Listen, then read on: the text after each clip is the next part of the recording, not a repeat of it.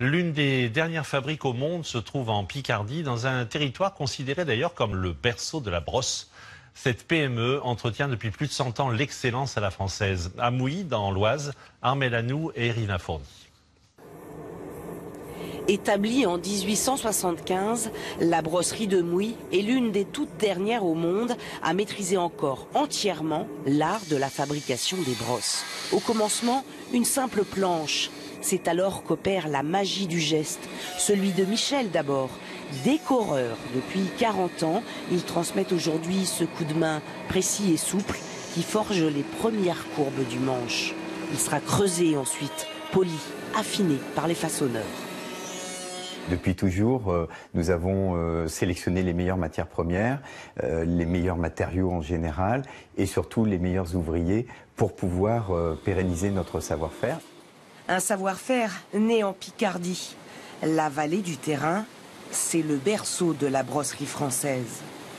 À la grande époque, au 19e siècle, 80 entreprises jalonnaient le cours d'eau. On utilisait cette eau pour nettoyer les soies de sanglier qui étaient utilisées pour euh, la fabrication des brosses. Vestige du Second Empire, cette machine antique mais infatigable qui sert au perçage vertical des brosses montées à la main et au contre-perçage à l'horizontale.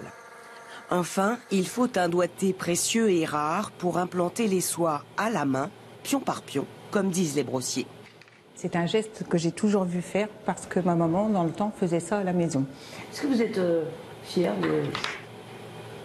Oh que oui. Bah, J'espère qu'on va avoir des petits jeunes qui vont arriver, qu'on puisse leur transmettre notre savoir-faire. Le retour des boucs, rouflaquettes et moustaches a dopé les ventes des petites brosses à barbe, garantie à vie, comme toutes celles produites ici. Bien sûr, garantie à vie. Les gens qui l'achètent, s'il y a un pion qui s'enlève, on est là pour le refaire. Il n'y a pas de souci. Avec 38 employés, la fabrique vend 400 000 brosses par an dans le monde entier.